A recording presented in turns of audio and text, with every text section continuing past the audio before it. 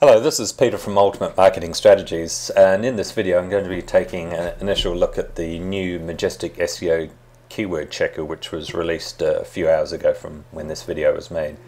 So if we go to the Majestic SEO homepage now we'll notice in the search uh, field there it now has you can enter a domain or a search phrase.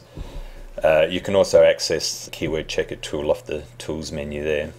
So if we use, I'll use an example, coffee cups.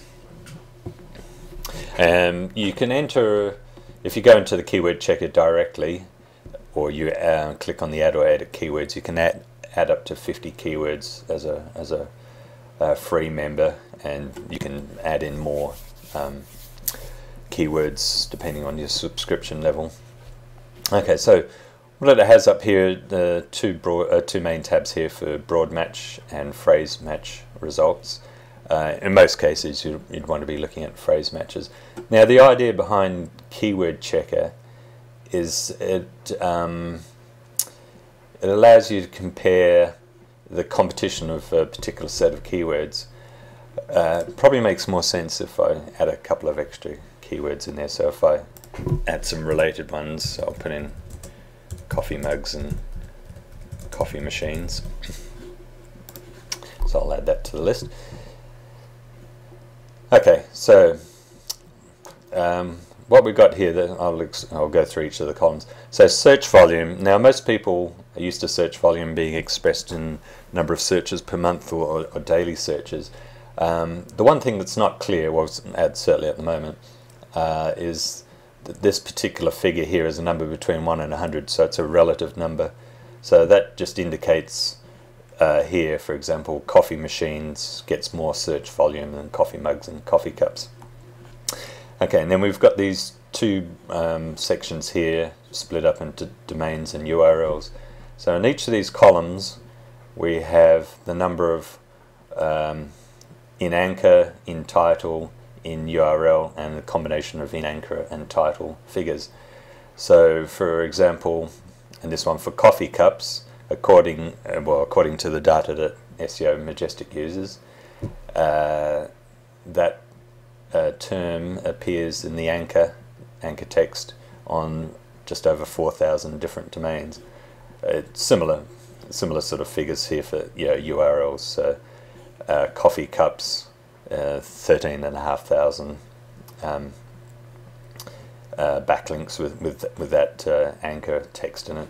And similar you know, numbers for the title. We've got almost 6,000 for 6,000 domains with coffee cups in the title, uh, URLs 36,500, and uh, URL, yeah, that's the number of times the keyword appears in the actual URL in a combination.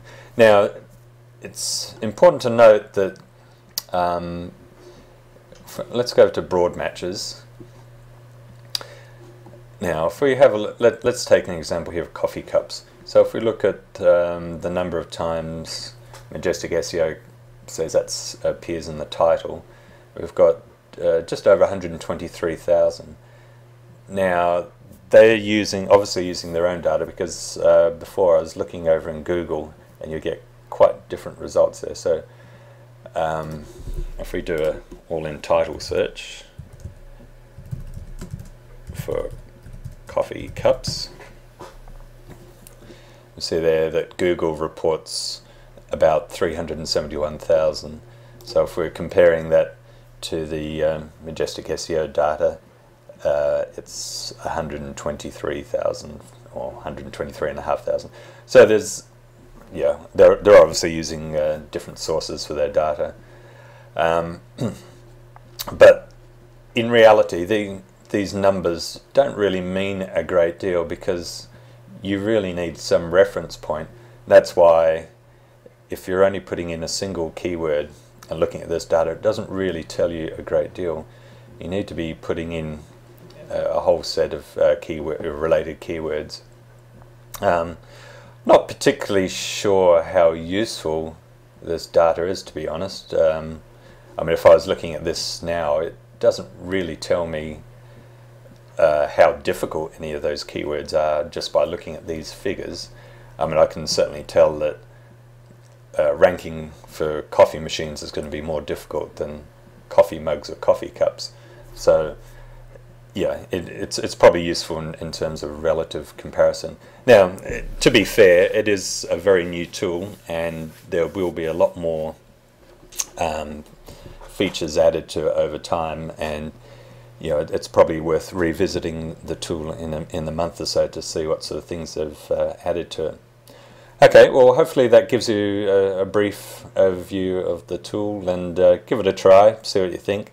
Um, on their blog, you can add suggestions as to what sort of features uh, you, you, want added to it. So hopefully they'll they'll take heed of some of those.